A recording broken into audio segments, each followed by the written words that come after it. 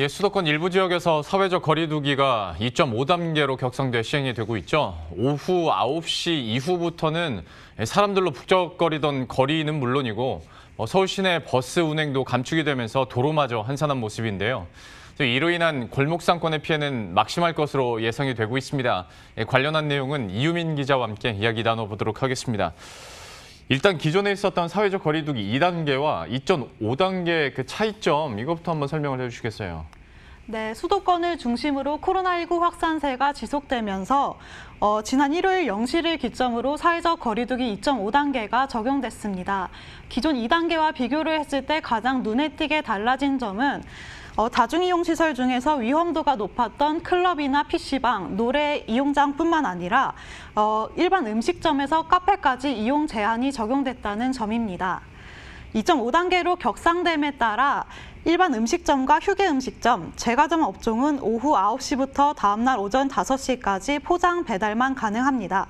또한 대형 전파가 이뤄질 가능성이 있는 프랜차이즈형 커피 전문점은 영업시간과 관계없이 포장 배달만 허용됩니다.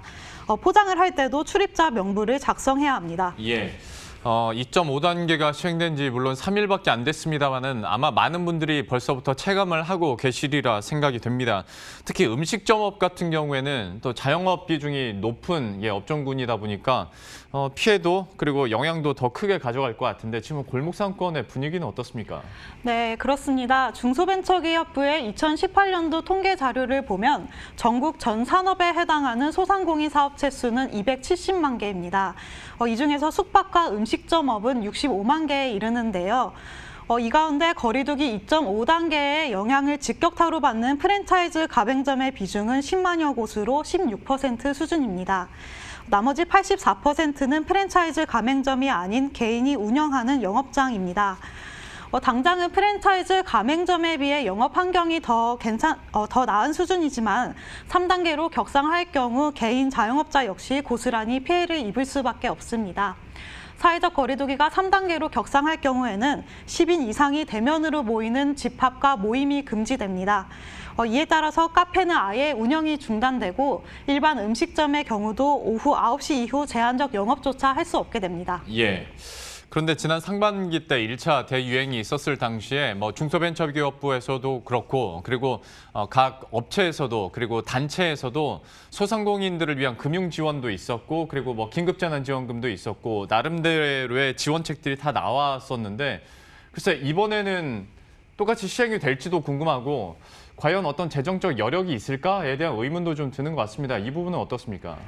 네, 중기부와 금융위에 따르면 상반기 소상공인 대상 코로나 경영 안정 자금을 위해 1차, 2차에 거쳐서 총 39조 원의 자금을 마련했습니다. 어, 현재까지 집행 실적은 29조 원으로 집행률은 74%를 기록했습니다. 특히 소상공인 2차 대출의 소진율은 6%에 불과해 약 9조 원 정도의 여력이 남아 있습니다. 어, 하지만 사회적 거리두기 2.5단계 성패 여부에 따라서 3단계 격상 가능성이 여전히 존재합니다. 어, 때문에 남아있는 가, 대출 가능 규모를 두고도 안심할 수 없다는 반응도 있습니다. 2차 재난지원금 역시 정치권을 중심으로 활발하게 논의 중인데요. 1차 재난지원금을 통해 그 효과가 입증됐다는 의견과 어, 단기적 소비 진작에 그쳤다는 의견이 팽팽하게 맞서고 있어서 여전히 줄다리기 중입니다. 예. 물론 이번 주 들어서 일일 신규 확진자 수가 이틀 연속 좀 줄긴 했습니다만은 여전히 그 3단계로의 격상 논의는 그리고 가능성은 남아 있는 상황이고 하다 보면 경제가 거의 올스톱 되다시피 하다 보니까 소상공인들의 피해가 더 클 수밖에 없는데 실제로 2단계로 갔을 때 어떤 소상공인들의 그리고 골목 상권의 매출 감소가 있었다라는 자료가 나왔다면서요?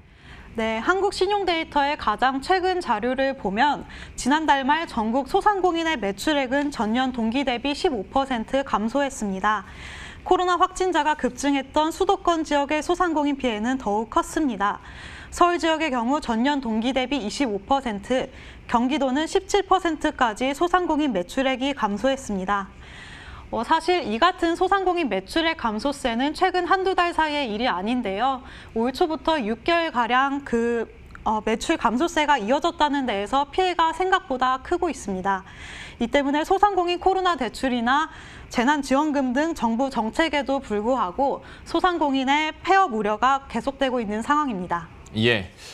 지금까지 이유민 기자와 함께했습니다. 잘 들었습니다.